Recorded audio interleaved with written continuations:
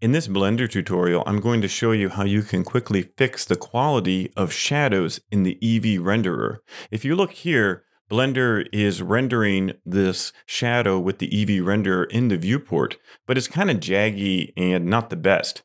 If I click on the camera icon and I switch to cycles, you'll notice that the shadow looks nice, but at the cost of a longer render time.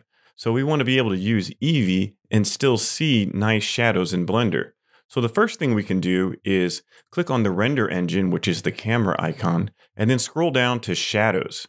Then we can change the cube size from the default of 512 to 496. And that already helps a lot. Then we can also change the cascade size to the maximum of 496.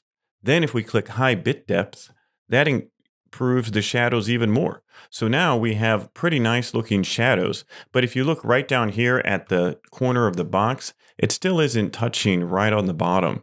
So to fix that, we can go ahead and click on the light in the scene. So if I click on this light and then I click on the light bulb, I can twirl out shadow and then I can check the box that says contact shadows. Now watch the difference. When I click that, now I have that contact shadow right there.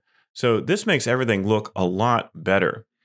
So hopefully this makes your shadows in the Eevee renderer in the viewport much better. And it's just a few settings. And with those settings set, you'll still get pretty fast renders and they'll be of much higher quality with the Eevee renderer.